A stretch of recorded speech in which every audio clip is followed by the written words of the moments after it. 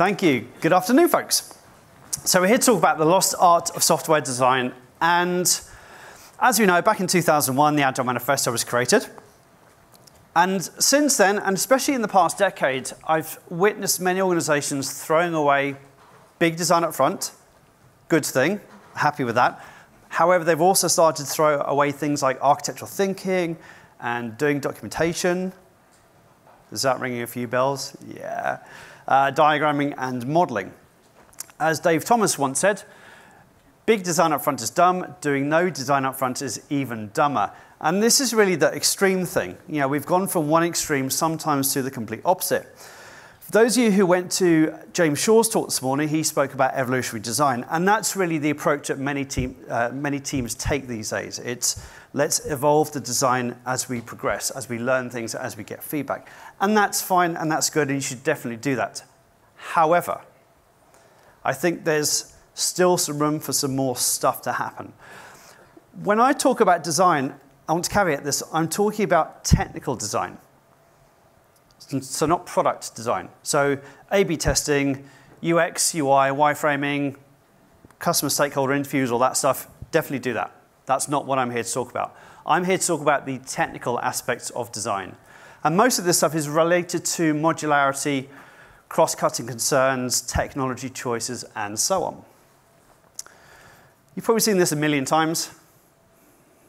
It's all about minimum viable product, delivering something, getting some feedback. This is a fantastic way to do product design. So you want to transfer somebody from A to B, don't wait five years to make them a car, give them a skateboard. It's very quick, and then we can get feedback and iterate. And we can learn, and that's good. So that, this is a great way to describe how to do product design. It's not a very good way to describe how to do technical design. Because unfortunately, as you see here, every iteration is a complete re-engineering effort. And that's what we don't talk about. We don't just go build the car. We still need to do some design here. You've seen the owl cartoon? It's the same thing. How do you draw an owl? Draw two circles and draw the rest. or, as we like to do with our software systems, it'll be fine this time, I'm sure. Oh no, guess what we did, microservices? Thank you. That did not work in Sydney. So my goals for this session. So I'm, I'm going to set my stall out, and I'm going to tell you where we're going. My goals are to explain why I think we need to do some, I'm going to repeat that word, some upfront design and some upfront thinking. And I want to give you some tips and techniques and practices on how we can do this on our teams. So my, my basic end goal here is some design up front with evolutionary design as we go along.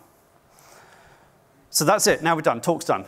If you want to know more about how we do this and how I got to this point, uh, we can stay for the next 35 minutes. For those of you who don't know me, my name is Simon Brown. I'm an independent consultant specializing in software architecture. Yes, I do work with organizations around the world and make their ugly diagrams look nice. Uh, that's kind of the thing I'm known for. Uh, author of a bunch of books. I also have another hat so I still write code, I still do the architecture thing, and I have another business called Structurizr, and it's a software architecture documentation toolset. It's all been built myself from scratch, it's all running on the cloud, blah, blah, blah. The techniques I'm about to share with you, I've used uh, building this product, and again, it was some design up front and evolutionary design as we progressed. For those of you who came to James's talk this morning, James spoke about switching out the authentication mechanism, so I've done similar things. So I've, I've changed my credit card processor, for example. Back to hat number one. So I'm really lucky in that I get to fly around the world. I've visited over 30 countries in the past Uh, seven or eight years, and I work with organizations to teach them software design and software architecture. And these are organizations you've never heard of through to companies you will definitely have heard of. And one of the things I do here is I run architecture katas. And I give groups of about two or three people a set of requirements. And it's a nice, simple set of requirements here for a financial risk system. And I say, what I'd like you to do is to go away for like 60 or 90 minutes, do some design, and draw some diagrams to describe your solution. And that's it. It's kind of vague. And there are two iterations. During iteration number one, we get some interesting looking diagrams uh, like that or that.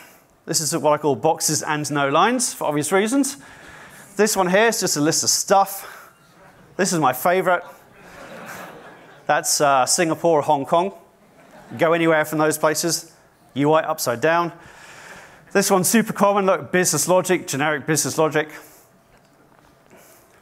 No tech choices. Bunch of C sharp things floating around a database for some reason. Adventure game. Be careful. All paths lead to the trap. Stormtroopers faceless clones attacking the reporting service, and a mess. And I have gigabytes of photos like this at home uh, from iteration one of these workshops. Now, something I do, well, first of all, people think they're going to present the diagrams, and often that's why they don't put much thought into everything, essentially. And one of the things I do is I get groups to switch diagrams and review another group's pictures. And we do something called the perfection game. And this is basically write a list of things you like, write a list of things you don't like and you think could be improved, and give me a score between 1 and 10. Now, the diagrams I've just shown you are kind of extreme. So these are some real diagrams from a real architecture workshop I did earlier this year. Shout me out some numbers. What sort of score do you think this got? Six? Seven? Yeah, this got seven. This one? Five? Also seven. This one, seven. you got it. Seven. Seven. Eight. Nope, seven. Play the game. This one. No, six. Now, arguably, this is the most detailed of all of the diagrams, and I think the detail kind of scare people. And they're like, ah, that's too complicated this kind of varies country to country and culture to culture, and it varies from public courses to private courses. But mostly we get scores around the 7 out of 10 mark. If you were to ask me how much I would rate these, I'd like go two, three, or four. And one of the problems here is many people don't realize that this stuff can be improved. So we do a bunch of stuff on the workshops, and we get to iteration two, and guess what? Iteration 2 looks nicer. Hooray. Now, my workshop's not a drawing workshop, and it just happens I've picked a really nice example of a really well-drawn picture, but there's a lot more to unpack here, and that's really what this talk is all about. So let's dive into this. Upfront design is the first thing I want to talk about explicitly. During my travels, I have been given every excuse you can possibly imagine for why teams should not do upfront design. Here are some of my favorites. Are we allowed to do upfront design? I've literally had teams say this to me. I'm like, oh, wow, I'm so sorry. We don't do upfront design because we do XP. I'm not sure that's what XP says. We're agile, obviously. It's not expected in agile. Yeah, that's quite common. Where does, where does this come from? It comes from all the literature about agile. You know, you go read the literature, it says, there is no big design up front, but people miss out the word big, and they go, oh, great, we don't need to do design now. Uh, you go read some other stuff, and it's like, yeah, some of the more extreme XPers are putting effort into not doing architecture stuff up front and doing technology deferral and decoupling and stuff. And the thing here, of course, is that although these luminaries in Agile are not explicitly telling us to not do design, we often make an assumption that that's what's being said here because the literature doesn't explicitly mention upfront design. So you have to watch out for this. And you have to watch out for this in conference talks as well. You know, just because the speaker's on stage talking for like half an hour or something, they're not going to say a bunch of stuff. That doesn't mean it's not important. Someone actually said this to me once. So I'm here talking about upfront design and waving my arms around and like, I bet you're not a programmer. This is borderline offensive. I, I, let them off. Um, but yeah, I, I, I, do this. I have a business and it's code and stuff. So yeah, I, I, I kind of definitely know how this works. One thing to bear in mind here is that the people who put together the Agile Manifesto all those years ago have a ton of experience, like a lot of experience. And we don't likely have that same level of experience. If you look around most teams now, they're staffed with you know, relatively young people. As a thought experiment, I kind of wondered my, to myself if we took these super experienced agile people out of software and put them into a world they're not familiar with, would they still talk about doing, you know, just experiment and refactor?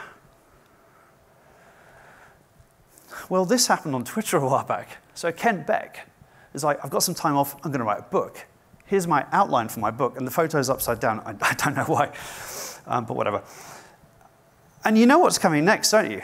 Somebody replied to his tweet and said, Well, why have you done an outline? Why are you not just writing and refactoring as you go along? And his response was, I want to do it to reduce my anxiety.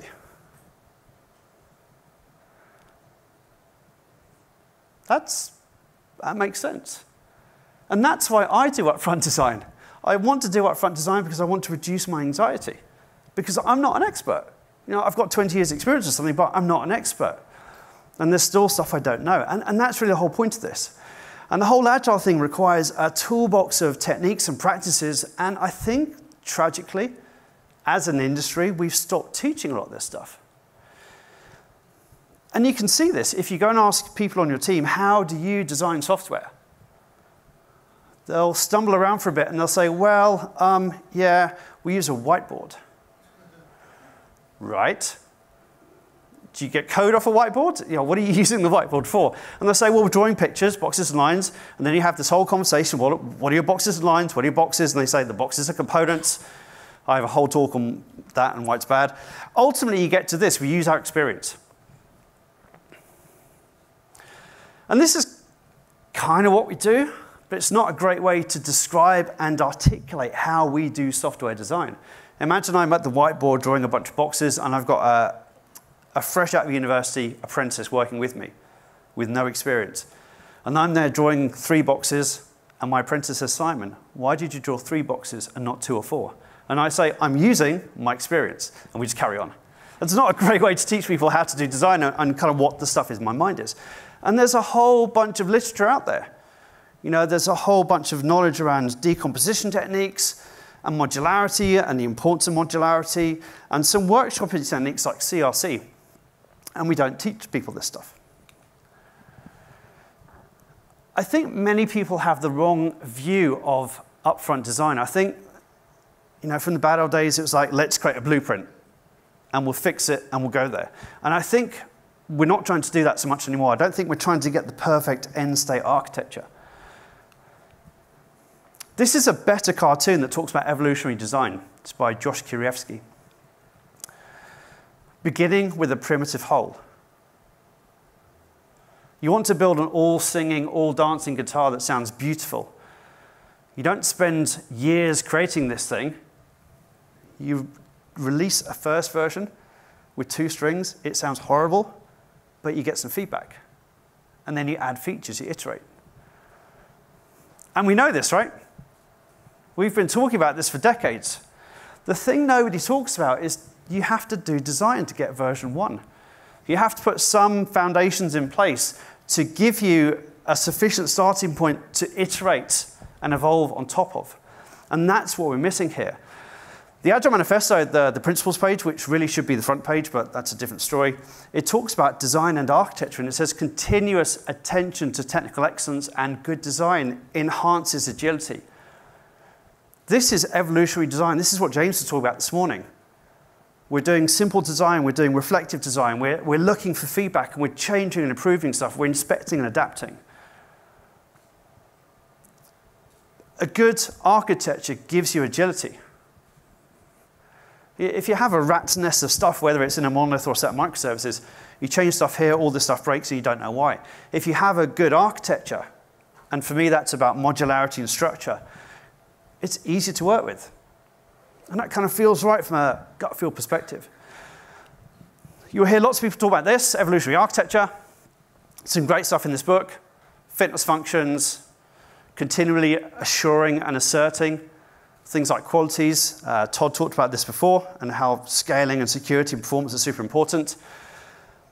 One of the things we don't often consider is that sometimes when you are creating an architecture to be evolvable, you're still making significant decisions. So, for example, if you have a whole bunch of people and you say, right, we don't want to choose a single programming language that all of our teams are going to use, so we'll have a microservices architecture. So, your microservices architecture gives you flexibility and scalability and agility, but the significant decision you just made was to distribute your stuff. If you're going to build a monolith and you say, right, we're going to build a Java monolith based upon the ports and adapters pattern, guess what? Forevermore, you have a Java monolith. And some people rush into this and not realize that they're actually making significant decisions. So I want to do enough upfront design, enough upfront thinking to put a starting point in place and set a general direction. Maybe not the perfect direction, maybe not the final direction, but at least some vague notion of direction that we as a team can then follow. One of the other reasons we do this is to uncover unknown unknowns. I often see teams kind of rush into stuff and they forget about some of the really obvious things that they should really think about. And I'll talk some more about that stuff later. So I think there's a huge value add in that starting point here. And really, this is just about technical leadership. Know, that's essentially why we're doing this. We're trying to provide some guidance, some technical vision, some technical leadership for our teams to work with. Notice I said work with, not necessarily follow. So go on then, let's talk about diagrams. Let's talk about incomprehensible software architecture diagrams. Who here uses UML? Quick show hands. I'm going to guess that's like 20 people, which in this audience is a very small percentage. So, again, I've been given a whole bunch of reasons from teams around the world as to why they don't use UML. Here are some of them. I don't know it. Right, so that's applicable for a bunch of people here. Not everybody on the team knows it, same thing. I'm the only person on the team knows it. Whenever I ask this question, it's a really small percentage. There are two exceptions. I hope I don't offend anybody. The Netherlands and Germany. The percentage is maybe 20%. So it's not even that much higher. Uh, you'll be seen as old for something somebody said to me recently. I'm like, whoa, hang on a second, I've got grey hair. I'm feeling offended again. This is shortly followed up by, you'll be seen as old fashioned. this company very well known, I think has some, some cultural issues. Um, I'm not sure. We don't want to tell developers what to do was an interesting one I heard recently. Again, there's this perception that just because you draw UML diagrams, that is somehow coupled to ivory tower dictatorship. And of course, that's nonsense. You know, just because you're using a standard set of boxes and lines doesn't mean you're telling developers what to do. Yes, the tooling does suck, has done forever. Uh, UML is too detailed. That's true. It's very low level, very precise. You draw a, a, class diagram on a whiteboard, you spend endless numbers of minutes describing what the black diamond versus the white diamond is, and nobody ends up knowing. You have to go to Wikipedia, do the car, whole car has wheels thing. It's a very elaborate waste of time. Now, no one's actually said this to me in person, but he has on the internet. So this begs the question, what's the answer? Like, what's the general recommendation if we think all of this UML stuff is a waste of time? Just use a whiteboard. No, I know how this works. Really badly. Like, really badly. I've got gigabytes of photos like this and worse. So this whole just use a whiteboard thing, it's not particularly sufficient. So I go on then, what's wrong with these diagrams? I imagine there's a bunch of people sitting in the audience going, well, they're okay. They're like the ones we have on our wall. Hold that thought. One of the things I do again is I get groups to swap diagrams, and I say, right, don't focus on the, the notation and the boxes and lines and all that stuff. Focus on these two questions. So, do you think the solution satisfies the requirements and the architecture drivers? And if you were the bank in this case, would you buy that solution? And after about 10 minutes, people say, we can't answer those questions. And that's pretty obvious when you think about it. The, the reason the groups can't answer these questions is because they can't see the solution. Right? The solution is just completely obscured by this horrible random notation. And if you can't see the solution, you can't understand it. And if you can't understand it, you can't evaluate it. It's not expected in Agile as another reason. Yeah, this is a common theme, isn't it? Why not? Again, you read around some of the literature around Agile.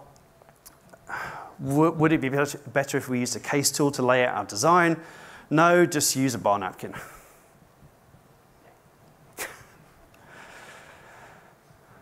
you probably don't need UML in your co-located whole team. Just have a conversation. And this is something else I hear a lot. This is probably the main thing I hear, the, the main uh, kind of objection to not using formal diagramming techniques and just to do stuff on a whiteboard. You know, just have a conversation. The value is in the conversation. And when the conversation's finished, erase the diagrams, we're done. Sometimes, if you're really unlucky, photo, stick on Confluence. And then it's incomprehensible forever. yeah. Someone said this to me once uh, all the diagrams you've shown all the horrible diagrams you've shown are excellent, provided there's conversation. I get that, and there is some degree of truth in that, but if you're having the wrong conversations, all bets are off. And that's the thing here the value is in the conversation only works if you're having the right types of conversations. And if you can't see the solution and you can't understand the solution, you can't have the right conversations. And I've been in meetings where people have been describing the same diagram from totally different angles, and they've got totally different interpretations of what's going on here. Why does this happen? It happens because many groups are just doing very high level, quick, and superficial upfront design. And again, I've heard a bunch of interesting stories and anecdotes and, and excuses given to me over the years. What programming language should we use is probably a good question to ask when you're doing upfront design, but it seems many people don't do that. And I've witnessed people looking at architecture diagrams and they don't have tech choices. And you'll have conversations like this. I didn't realize we were building a Python thing. I was like, yeah. Is it not obvious? No, because I'm a Java developer or I'm a Python developer. So we have a bunch of diagrams and they don't have tech choices, and we see the solutions through our eyes. If we're a Java developer, it's a Java solution. I see lots of people drawing diagrams, and it's just a bunch of boxes with lines between them, and many people think it's a microservices architecture. And sometimes it is, but sometimes it's a monolith. And again, people are drawing these diagrams, you have these logical, conceptual, fluffy components, and we're not talking about basic things like is it a single deployment unit or a, a multiple set, uh, set of deployment units.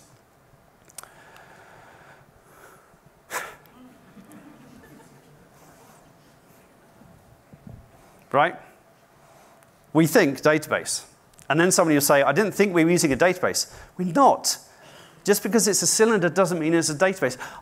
By the way, I get a lot of people tell me that the, the, the cylinder shape is a standard UML symbol, which I don't think it is. Why is the ORM directly connected to the Angular front end? This is a bit of a specific one, but if I go back to one of the diagrams from earlier, we have an Angular front end up here with a bunch of stuff. This is a .NET backend, and there is an entity framework ORM there. If you look carefully, there's an arrow going from the ORM in .NET up to a thing in Angular. I'm like, cool. How do you do that? Like, I'm a developer, but I, I don't know how to do that.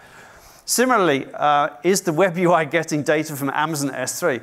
I saw a diagram a few months ago, and this group drew a, a box labeled web UI and another box labeled S3 and an arrow going from the web UI to S3. I'm like, great, I get that. So then I asked the group, what's your web UI? Is it server side or client side? And they said it's client side. Uh, and I said, what, running in the browser? Like, yeah. Angular, of course. And I said, so how are you talking to S3 from your Angular app running in the browser? And they said, well, there's a JavaScript API, a JavaScript library. Uh huh, right. And where are you storing your secrets? like, oh yeah, in the page content, that's not good, is it? No. And again, people are not thinking through some of the trade offs of their decisions, and this stuff is just not implementable, of course. We're not engaging. Many times I see people do my architecture workshops and katas, they're just rushing into a solution. In the most extreme cases, people are literally drawing a single box with the name of the system and like, we're done, we're agile. In other cases, seriously, and then you have to do the whole convincing, you should do some more design. In other cases, we get diagrams like this. They're very high level, they're very superficial, and they're just named boxes. So in this particular set of requirements, we've got like an audit requirement and a data import thing and a calculation thing, and you'll see those names on these boxes. And that's it. We're like, yeah, I'm, I'm to stop. And we're not thinking through. We're not getting to an actual solution here. You've seen the S-curve for learning before? You start very slow, and at some point, after a little bit of thinking, you get some quite accelerated learning. And eventually, you don't learn so much anymore. I see teams getting stuck here, and they think that's enough. And if you go a little bit further, you learn quite a lot very quickly. Of course, big design up front is this, and we don't want to go there. But there's some interesting point here, some sweet spot here I think we should get to. A friend of mine, George Fairbanks, has a fantastic book about software architecture. It's called Just Enough Software Architecture. And he says this a good architecture rarely happens through architecture indifferent design. This is basically jumping up on a solution because of hype, trend, fashion, or just because that's what we always do. And again, it's about not thinking through trade offs. And that's why in the industry, we always do this horrible monolith versus microservices comparison. Everybody tries to jump to microservices because they think it's going to solve all of their problems. It's very hype driven. We all know what happens here. They get that instead.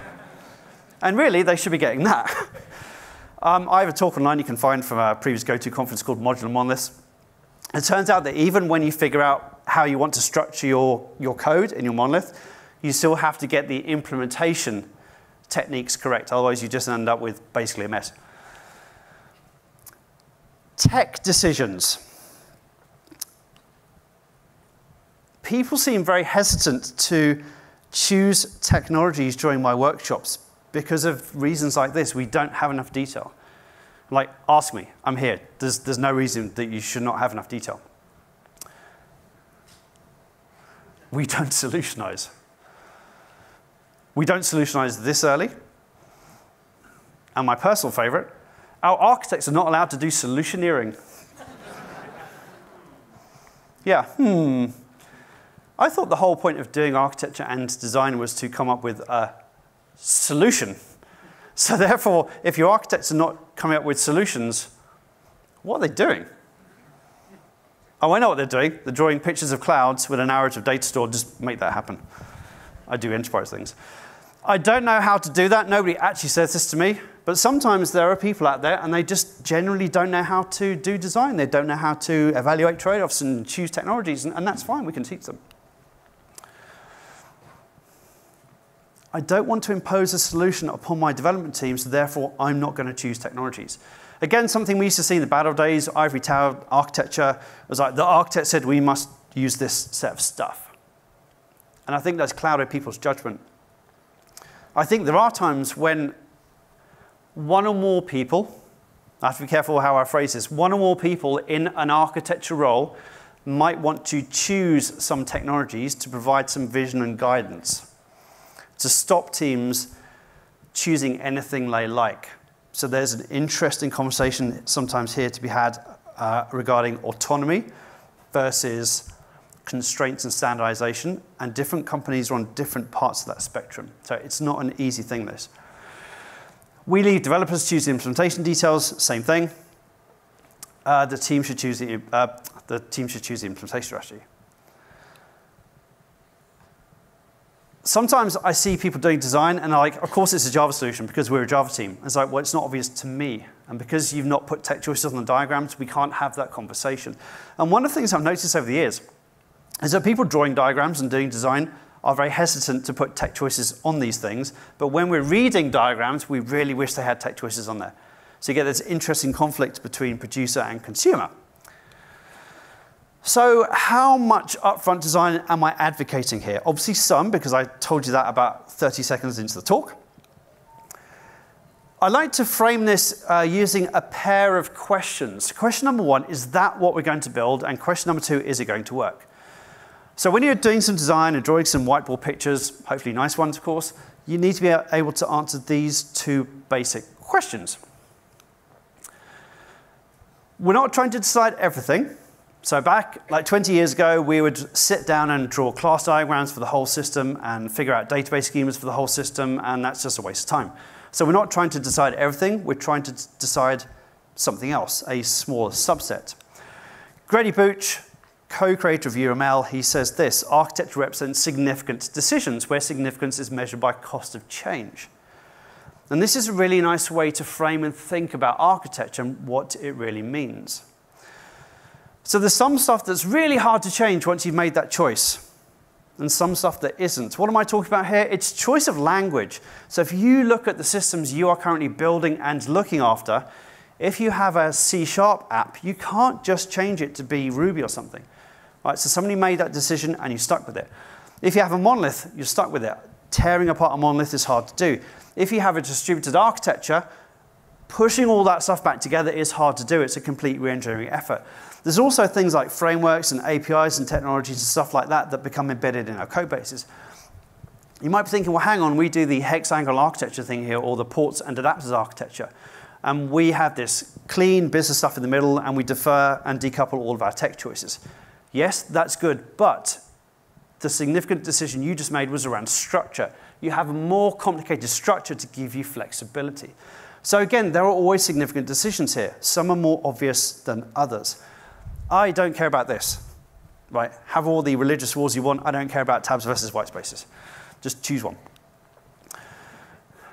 Martin Fowler said this years ago, right? There's nothing new here. Martin Fowler said, I think there's a role for a broad starting point architecture like how you're going to do layering, so how you're going to structure your code, and if you're going to use a web server and a database and that sort of thing. So that's why I'm a little hesitant in recommending the just use a whiteboard, the value is in the conversation thing. Because we need to have better diagrams to facilitate better conversations. And it's at this point some people say, well, hang on a second, this is a bit unfair because your poor workshop attendees only have like an hour and a half and you're forcing these poor people to use pen and paper, and it's not an optimal medium. Right, so I've tried adding more time, guess what, same results. I've tried using tooling, guess what, same results. right, if you go to Google and you do a search for architecture diagram, you get the same stuff. All of these diagrams look nice, but they have the same problems. Boxes, no lines, unlabeled arrows, acronyms, different sizes, different colors, we have no idea why. The problem is we don't have a good way to describe stuff. Imagine we were building architects and somebody asked us to draw a diagram to describe where we live. We go, yeah, I can do that.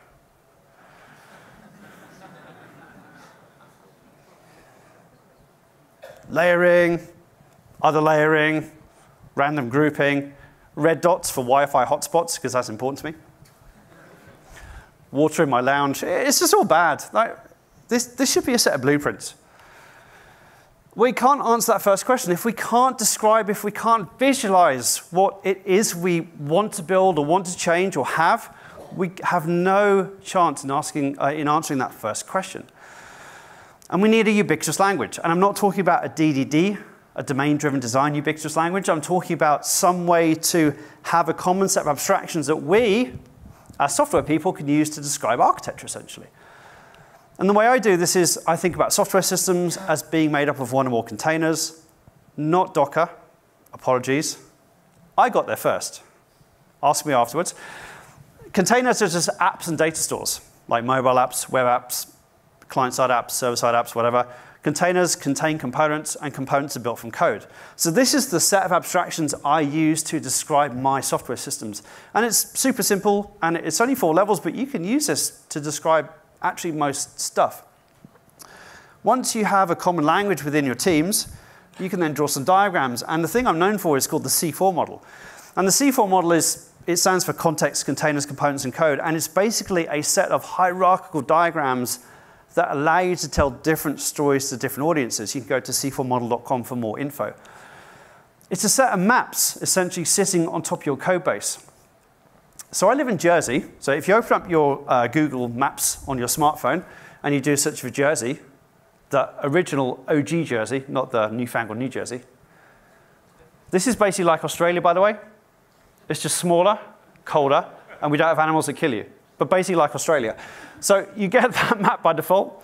If you want to know what's inside Jersey, great. If you've never heard of it, useless. Zoom out. If you want to get more information, zoom in Street View.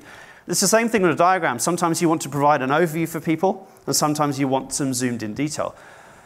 It's notation independent, so I'm not kind of forcing a standard notation. It's a notation independent uh, set of diagramming techniques, and you can use UML if you want to. Just because somebody's going to write this down in the notes, although C4 has the number 4 in the name, please don't do level 4. Right? It's there for completeness, but please don't do it. It's way too much detail. There is a notation checklist I've created on c4model.com. There's a handy dandy QR code there. And even if you're not using my abstractions or my diagramming technique, you can apply this to any diagram you draw in the future, and it'll hopefully give you some tips on how you can make it better and more comprehensible. And the reason I put so much focus on diagramming is because, well, one, I like it. And uh, two, I think diagrams are underrated and actually super useful. And for me, they form the core of my architecture processes and my architecture practices. And one of the things I use diagrams for is a visual checklist. So I can think through a bunch of things and answer a bunch of questions.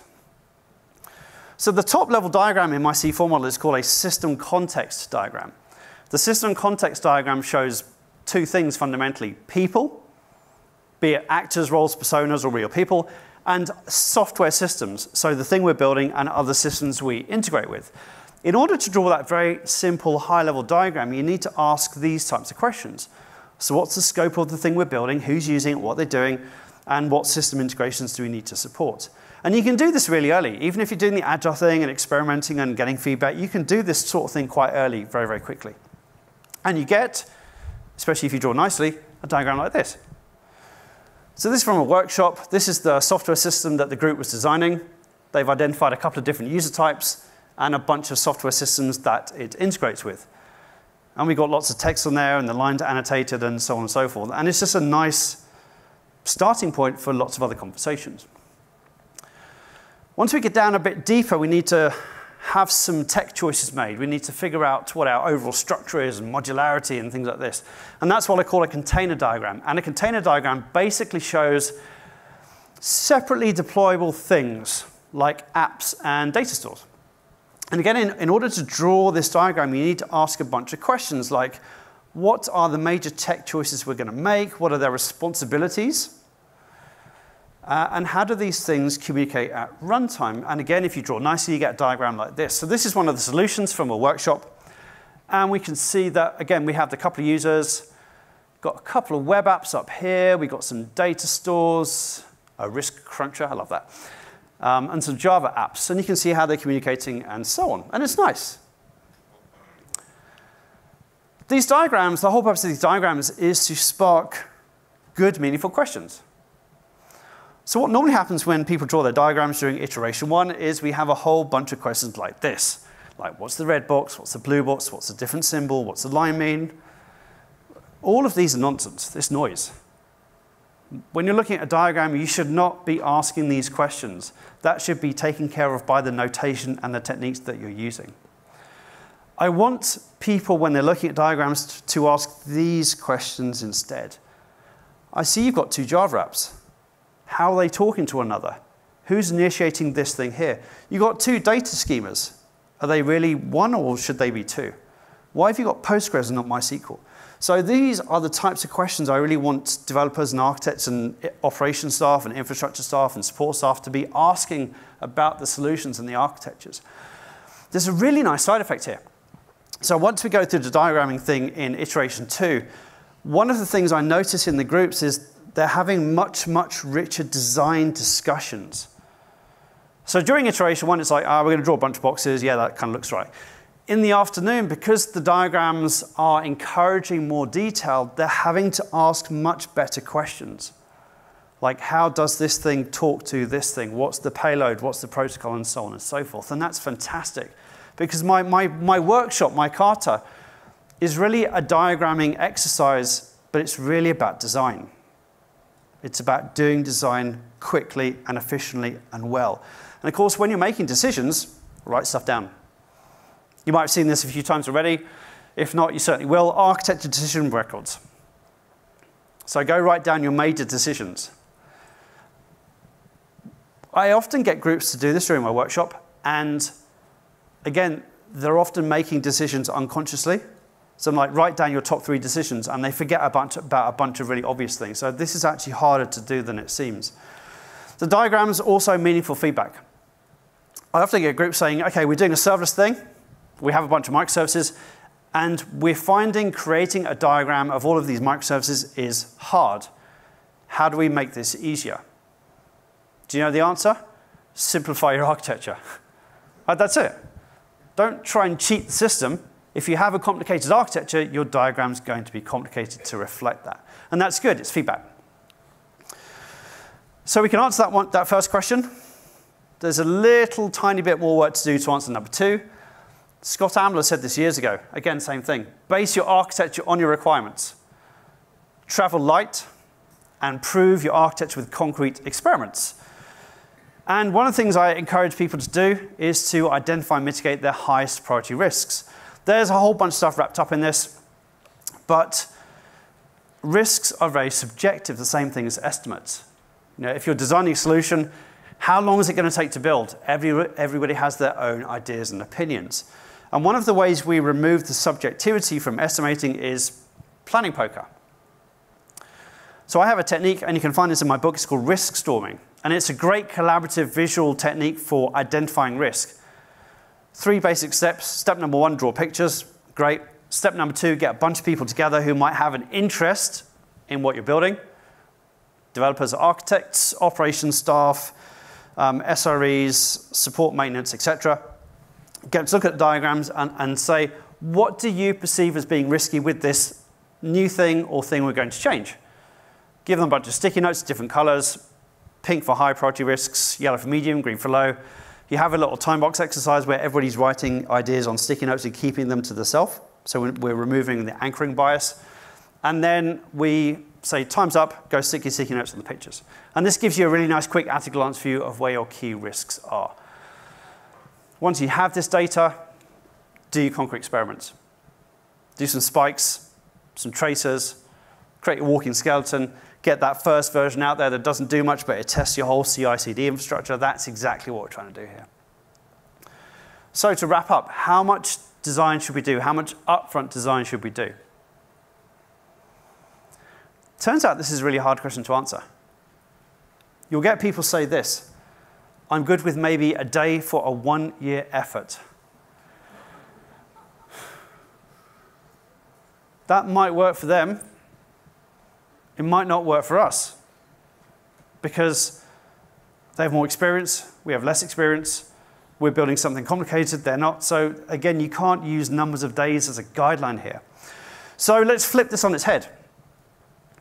Let's say, well, when do we stop doing upfront design? Stop when you understand your significant driving forces. And this is the stuff Todd was talking about earlier scaling and performance and security and the other qualities. The constraints of the environment also count into this. You understand the scope and the context of the thing you're building. So basically, if you can draw a context diagram, you're in a good place. You understand your significant design decisions. So you understand your key tech choices, your modularity, whether you're doing microservices or monoliths. You have a way to share this information with other people. So again, create a good bunch of diagrams that you can show to people and have meaningful discussions, get some feedback. You think it's going to work. So you do dry runs over your architecture, you make sure your significant features, stories, use cases, even if they're not fully fleshed out in detail, you think that's going to be supportable. And you've identified and you're comfortable with the key risks.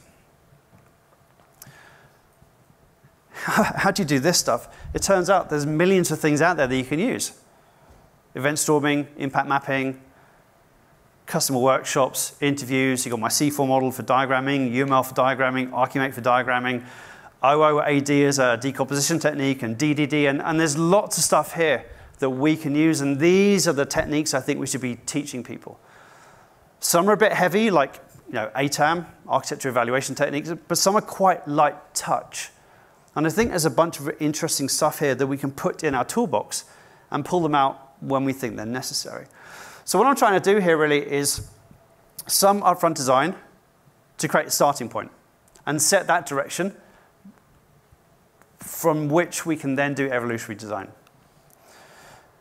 people say, how do we do this? My, my key advice is go do some katas. You don't need me to do this. Ted Neward, Neal Ford have a bunch of architecture katas you can find online. Create yourself a safe space, a couple of hours in a workshop.